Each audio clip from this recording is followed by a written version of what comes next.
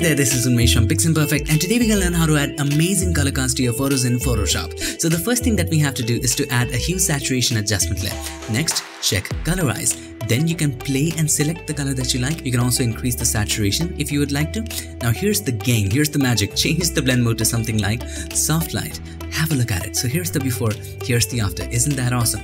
And in real time, you can play with different colors and see which one looks good in your image. Wow, I love that magenta.